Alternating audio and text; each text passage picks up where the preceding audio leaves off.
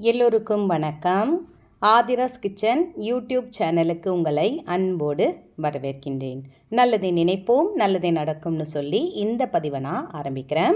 நம் வீட்டு வருமானத்தை இரட்டிப்பாக்க இந்த நாளை பயன்படுத்தி கொள்ளுங்கள். வளர்பிறை வெள்ளிக்கிழமை சுக்கிரகோரை கடன் கண்டிப்பாக அடையும் அப்படின்னு தலைப்பு போட்டிருக்க இல்லைங்களா? அது என்னன்னு பார்க்கலாம். வருமானம். வருமானம் ரெட்டிப்பானா யாருக்கு தாங்க சந்தோஷம் இருக்காது? கண்டிப்பாக வருமானம் ரெட்டி பார்க்கணும். அதனால தான் ஒரு வேலை செஞ்சுக்கிட்டு இருந்தால் கூட இன்னும் ஒரு வேலை பார்ட் டைம் ஜாபாக ஏதாவது ஒரு வேலை எடுத்து செய்யணும் பணத்தை சேமிக்க ஆரம்பிக்கணும். எப்படி எறும்புகள் மழை காலத்துக்கு முன்னாடியே அதோடைய உணவை சேமித்து வைக்கிறதோ அந்த மாதிரி நம்மளும் என்ன பண்ணணும் பார்த்திங்கன்னா சேமிப்பு என்பது இருந்து கொண்டே இருக்கணும். மாதம் வர்றதுக்குள்ளே பதினஞ்சு தேதி ஆனோடனே நம்மளுடைய சேமிப்பெல்லாம் கரைய க- அந்த வருமானத்தை செலவு பண்ணிடக்கூடாது. கொஞ்சமாவது சேமித்து வைக்கணும். சரிம்மா நீங்கள் சொல்கிறீங்க கரெக்டு தான்.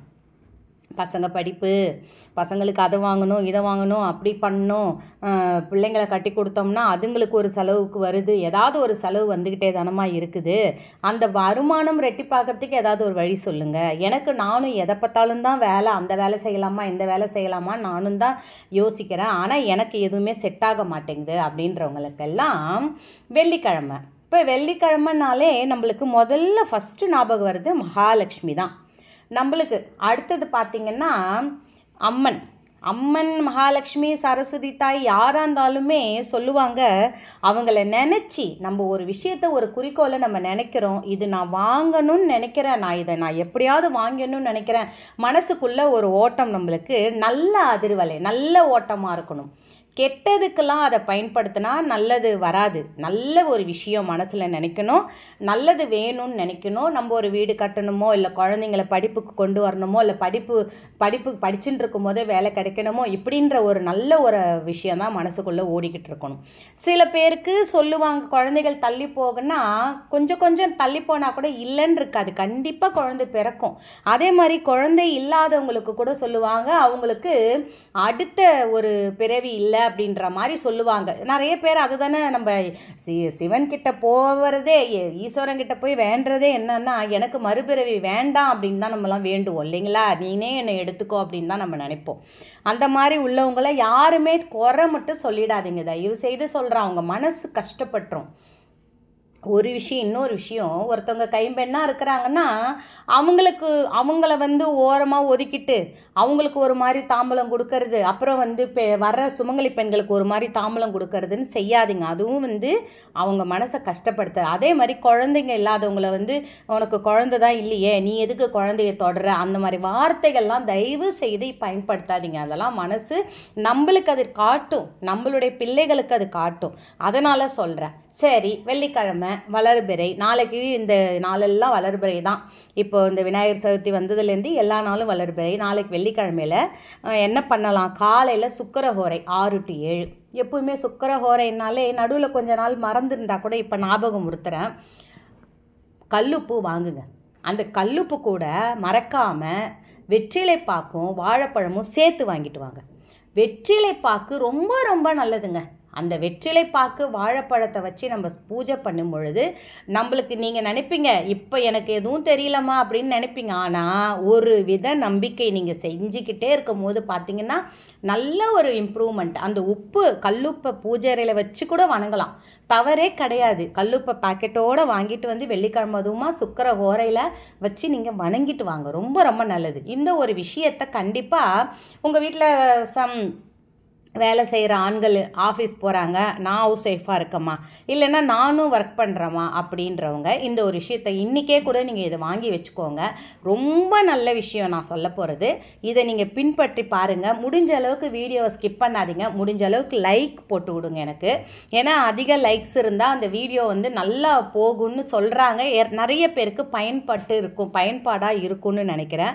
சரி மகாலட்சுமியை நினச்சி நம்ம சில பேர் இன்றைக்கே கூட வியாழக்கிழமையே நான் வீடு தொடச்சி வச்சிடுறோமா? வெள்ளிக்கிழமை காலைல இருந்து துடைக்கலாமான்னு கேட்பீங்க. பிரம்ம முகூர்த்தத்தில் வீடு பெருக்கி துடைக்காதீங்க. அதுக்கப்புறம் நம்ம தொடச்சிட்டு அன்றைக்கே அன்னைக்கே பூஜை பண்ணுறதா இருந்தால் வீடு துடைக்கலாம். தவறு கிடையாது. இப்போ வியாழக்கிழமை தொடச்சிட்டு தூங்கி எழுந்தோம்னா அது என்னதான் இருந்தாலும் அது கொஞ்சம் பழைய வீடாக தானே ஆகுது. நீங்கள் யோசிச்சு பாருங்களேன். நம்ம வியாழக்கிழமை வீடு தொடச்சி விட்டுறோம். அன்னைக்கு பூஜை பண்ணுறவங்களுக்கு அது ஓகே இப்போ நாம் வெள்ளிக்கிழமை பூஜை பண்ணுறோன்னா அன்னைக்கு நம்ம காலையில் எழுந்து அந்த பிரம்ம முகூர்த்தத்தை தவிர ஆறு மணிக்கு மேலே ஏழு மணிக்கு வீடை தொடச்சி விட்டு மஞ்சள் தண்ணி கரைச்சி தெளிச்சிட்டு வாசப்படியிலேருந்து நிலைவாசலில் மஞ்சள் குங்குமம் வச்சுட்டு இதெல்லாம் செய்யுங்க.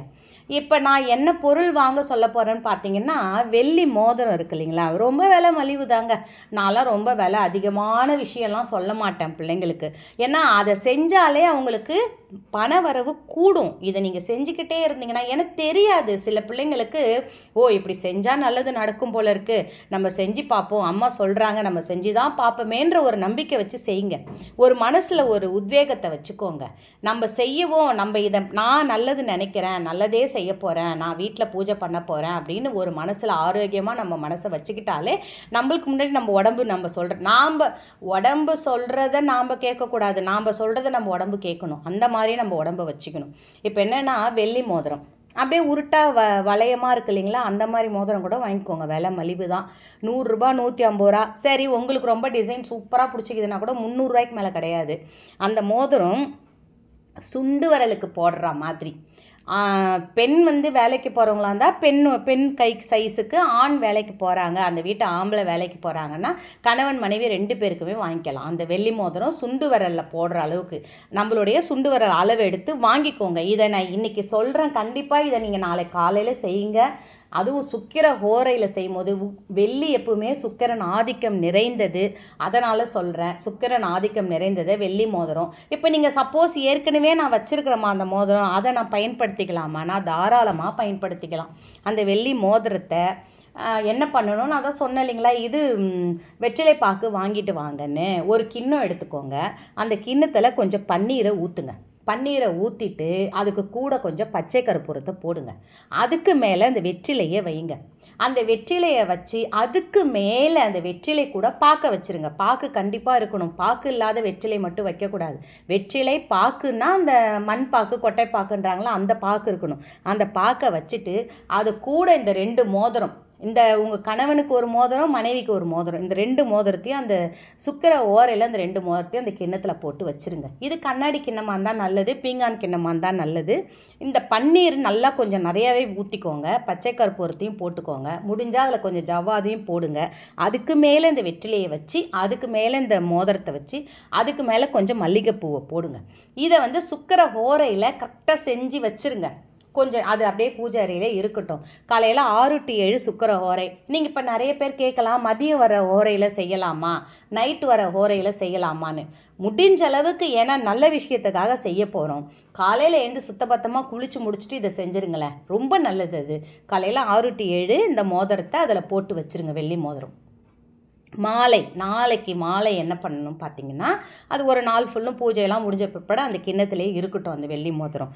அதுக்கப்புறம் என்ன பண்ணணும் பார்த்தீங்கன்னா அதை எடுத்து பெண்கள் கையில் கைகளாக இருந்தால் இடது கையில் சுண்டு விரலில் போட்டுக்கணும். ஆண்களுக்கு வந்து வலது கை சுண்டு வரலில் போட்டுக்கோங்க.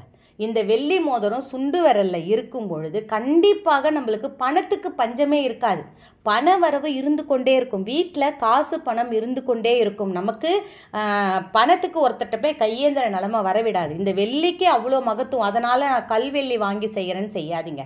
சுக்கிரன் ஆதிக்கம் அதிகமாக இருக்கும் நேரத்தில் நம்ம இந்த இந்த வி- இந்த விசேஷ பூஜையை செய்கிறோம் அந்த வெற்றிலை கூட பாக்கு கூட அந்த ச பன்னீர் இந்த நான் போட்ட அந்த பச்சை கற்பூரம் அது எல்லாத்து கூடயும் சேர்ந்து அந்த மோதிரத்துக்கு ஒரு அபி அபிரிதமான ஒரு சக்தி வந்திருக்கும். இப்போ அந்த மோதிரத்தை ரெண்டு பேர் ஆண்களாக இருந்தால் வலது கை சுண்டு விரல் பெண்களாக இருந்தால் இடது கை சுண்டு விரலை போட்டுக்கோங்க.